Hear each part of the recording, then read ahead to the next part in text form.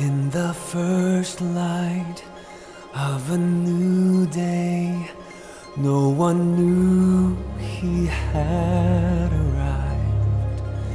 Things continued as they had been, while a newborn softly cried. But the heavens, wrapped in wonder,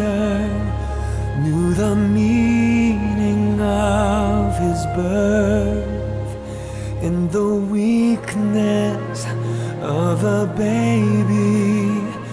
They knew God had come to earth.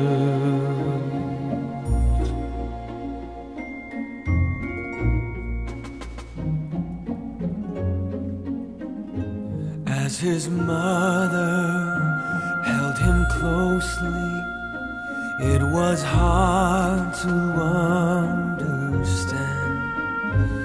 that her baby, not yet speaking, was the word of God to man. He would tell them of his kingdom, but their hearts would not believe.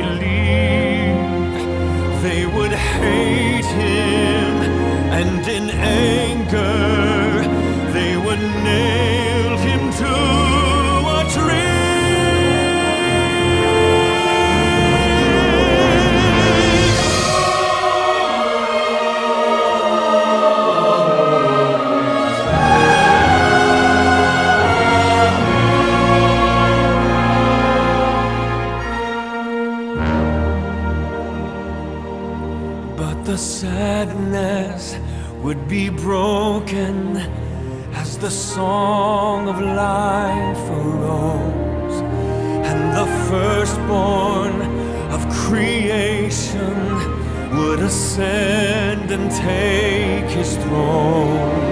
He had left it to redeem us, but before his life began, come back, not as a baby, but as the